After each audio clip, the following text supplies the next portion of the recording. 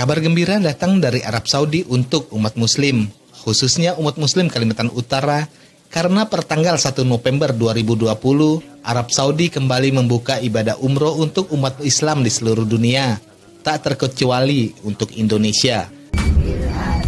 Allahumma inni a'udzubika Sejak tanggal 4 Oktober 2020 lalu, pemerintah Arab Saudi sudah membuka ibadah umroh bagi umat muslim yang sudah menetap di Arab Saudi.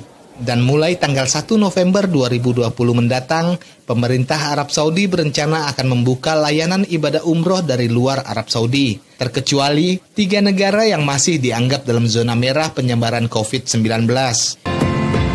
Ketiga negara yang belum mendapat izin tersebut adalah India, Brazil, dan Argentina.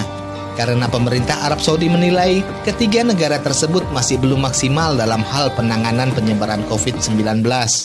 Kepala Kantor Kementerian Agama Kota Tarakan menyambut baik rencana dibukanya kembali ibadah umroh oleh Arab Saudi. Namun syarat dan ketentuan dari pemerintah Arab Saudi akan jauh lebih ketat dibanding tahun sebelumnya. Ya Alhamdulillah kami bersyukur sekali bahwa Arab Saudi sudah membuka untuk jamaah umrah boleh umrah ke tanah suci ya. Walaupun untuk saat ini kan hanya untuk orang yang ada sudah berada di dalam negeri Arab Saudi ekspatriat kan. Sampai satu bulan Oktober ini sepertinya dari tanggal 4 kemarin kemudian nanti tanggal 18 akan ditambah kuotanya. Dan insya Allah nanti kan per 1 November itu sudah boleh dari negara-negara lain yang sudah dilis oleh Arab Saudi yang boleh memberangkatkan jemaah umrohnya. Nah kemudian untuk di masa pandemi seperti ini itu semua jamaah umroh yang akan melaksanakan umroh untuk di Indonesia Kementerian Agama sudah ada sistem aplikasi sendiri ya setiap jamaah itu harus di entry ke dalam Sisko Fatuh bagi yang umroh e, ibarat haji itu siskohat ya jadi nanti itu linknya akan tersambung ke Kementerian Agama Pusat dan terbaca di sana berapa jamaah umroh yang akan berangkat. Senada dengan itu, Direktur Travel Ibadah Haji dan Umroh PT Wahida Tenrisau Indah berharap dibukanya kembali ibadah umroh tahun ini akan terlaksana.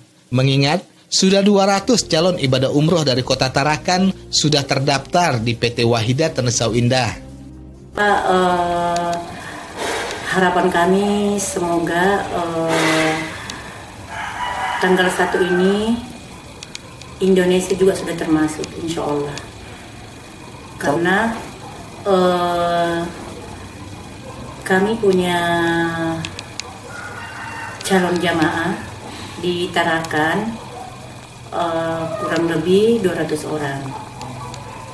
Dan insya Allah uh, sistem kami juga uh, sudah keluar siskopatunya di mana nanti itu siskapote itu uh, lewat semua di situ kita bisa online kan jamaah yang mau berangkat.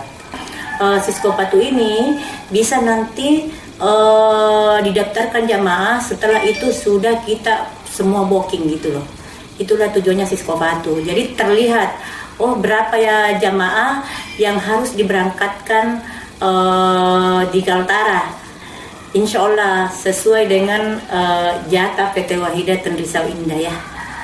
Oh, gitu ya. Kita mengikuti aturan pemerintah, Insya Allah. Jadi kami mohon doanya semoga uh, juga COVID ini uh, cepat hilang dan kembali ke tempat asalnya insya Allah.